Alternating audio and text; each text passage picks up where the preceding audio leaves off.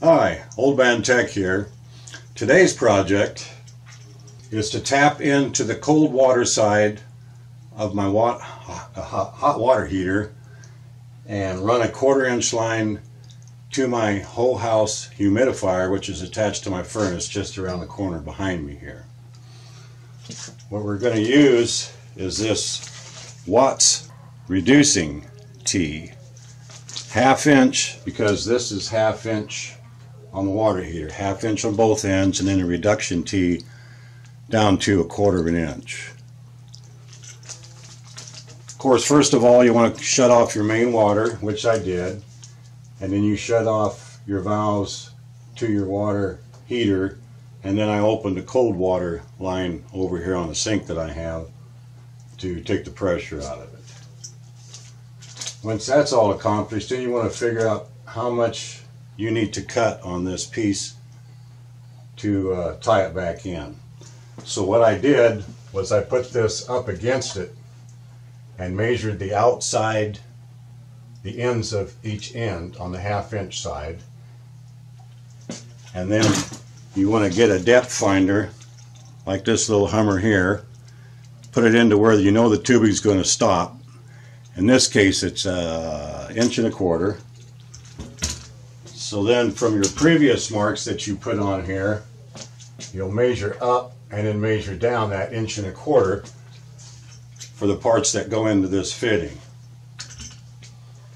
Now I'm probably not going to use this top one because I have to loosen the clamp here and I'm going to distort the end of that a little bit unless I cut this end off rather than cut it off here and still I just as soon have a new piece so I've got a new piece here that I'm just going to put a new piece in there the right length and then I'll be able to easily fasten it to here.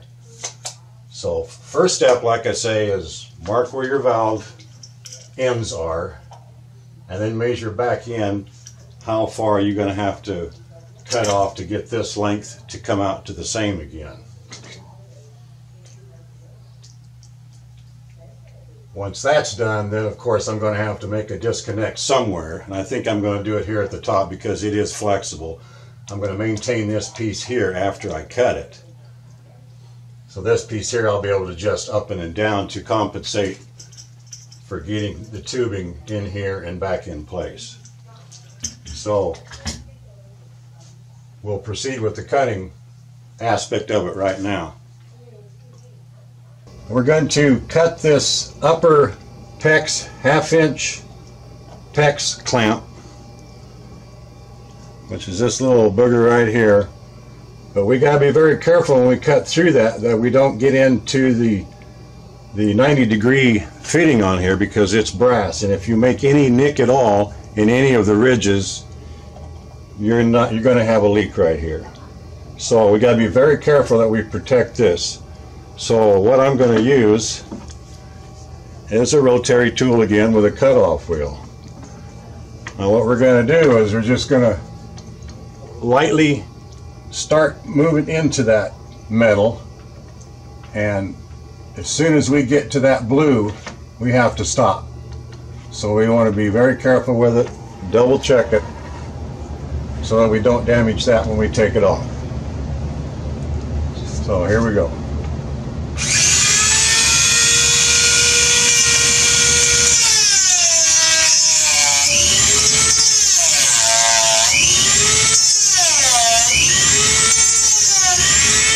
Again, make sure you have your safety glasses on. Okay, we got that cut, I think, uh, deep enough. Take you a good standard screwdriver, reach into that groove you cut, pry that open. As you can see, we're good. We didn't get into the into the 90. And I'll take a pair of cutoffs, wire cutters, grab that Watch your little fingers because it's going to be hot. Yeah. Okay. We got that done. Now while it's still sitting here, let's uh, double check. While we're sitting here, we're going to go ahead and cut this because we have a sturdy platform to cut it with. And since we're not going to use this piece again, we want to measure what that's going to be.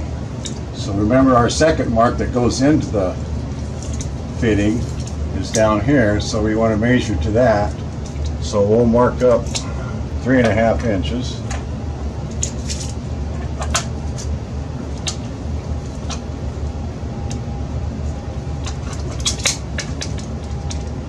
That's where we're going to cut our new piece to.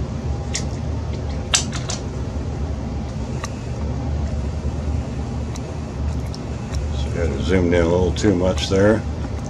We'll go with that. Here's our piece we want to cut. Put your little tubing cutter on there. Tighten her up so your cutting blade is right on the mark you just made. Spin that sucker around, tighten her up. Every time you come around, tighten her up a little bit more.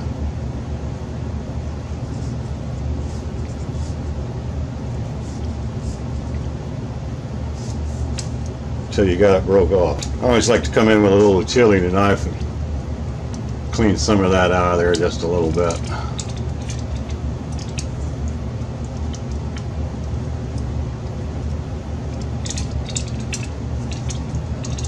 Okay, now we got our new piece cut that's going in with the new teeth. So we'll go ahead and trim this at our marks.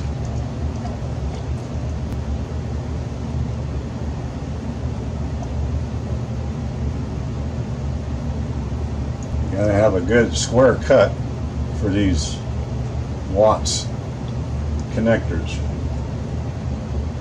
Now this is half inch. Of course, if you had three quarter, then you'd get a three quarter T with a quarter inch out. You're gonna get a little water. A little water is expected. Works better if you turn the valves off. okay. There we go. Now we want to take this piece off. Sometimes that can be a booger. And it can be so much of a booger that you may have to come in and be even ever so much careful to try and weaken it enough to take it off.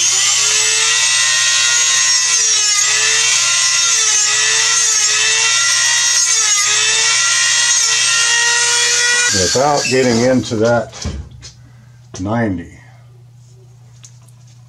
There we go. Okay, before we install this T with this piece that we cut from our other earlier measurements. These inserts come with the Watts connectors and you push them in well actually, actually not on this end with the ring but you push it into the part that goes into the valve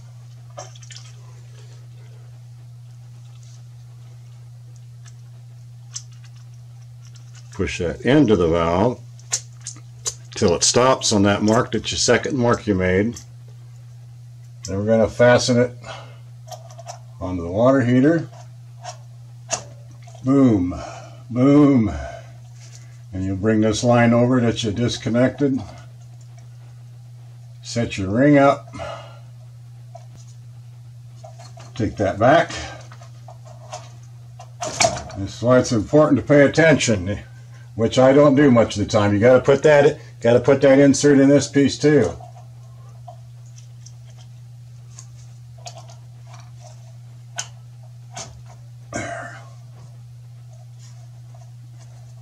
Sure you got them both in as far as they're going to go. Here's your valve, or your T. Okay, now we got to tighten that clamp. Then have at her.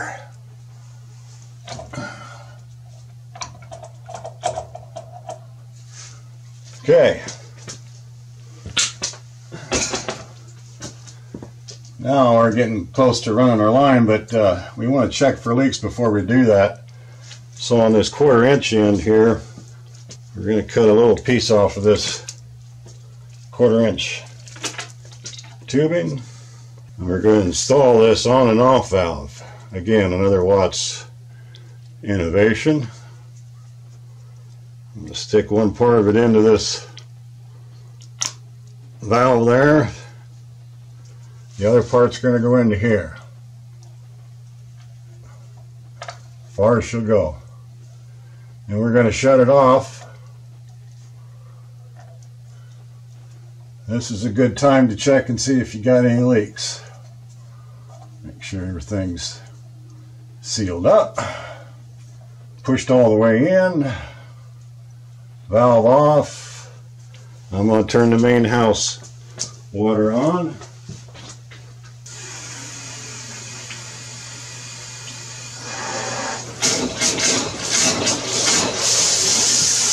If you hear that noise, don't forget to shut off the sink you turned on earlier to drain water. okay. Now, moment of truth. Turn on the cold water line.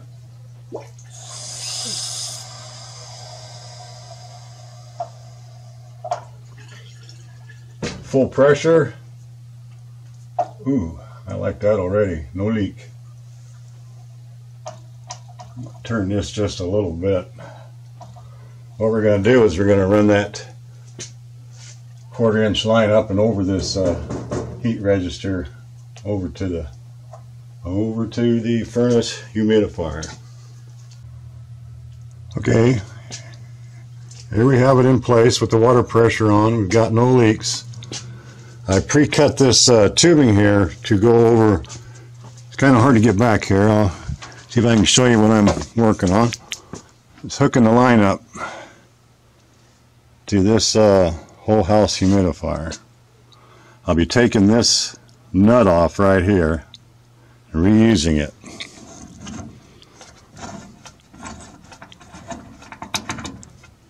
Okay, on the other end of this tubing, which is going, going to go back to the uh, humidifier, I brought it up here so you can see it, what I'm doing, but you want to put that nut on first.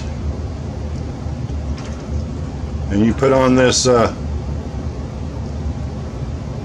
called a compression fitting, quarter inch compression fitting. Put that over the tubing and then we'll put that in the connector on the humidifier that you seen a moment ago and then you'll tighten this down. Okay, that's pretty much all there is to it. Got the valve in and brought her back. Routed a little bit along the ceiling there and tightened her up right there with that compression fitting. So everything's on and ready to go. So that's how that's done. All right, that brings a close to another do-it-yourself video. Now, some of these tools you may have, some you may not. Uh, you know, like this little uh, mini cutter, they're not too expensive. Now, the price goes up a little bit for one of these PEX tools for clamping the clamps down, but my philosophy uh, way back to when I was a cabinet maker some 40 years ago is if you have the confidence to do the job yourself, go ahead and buy yourself some tools because chances are that you'll probably be needing them down the road somewhere else. If not, uh, most service calls for a plumber, for an example, will probably run you over what I've paid for these tools. So there's just uh, some food for thought there. Gain yourself some confidence, get a few tools, and save yourself some money. Old Man Tech out.